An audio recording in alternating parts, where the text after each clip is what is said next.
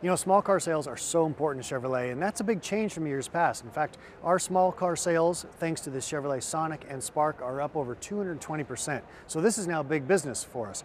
In that space, we introduced here in New York this. This is the Chevrolet Trax. I know what you're thinking. It's an SUV, but it's small. Well, this is a big part of the business right now. You've seen brands like uh, Buick with their Encore and the Audi Q3 and the BMW X1, a turbocharged four-cylinder engine, a much more rationally sized SUV, uh, still plenty of room for your friends and their things, but done in a way that uh, is just a little bit more comfortable, a little more easy to drive around town as well.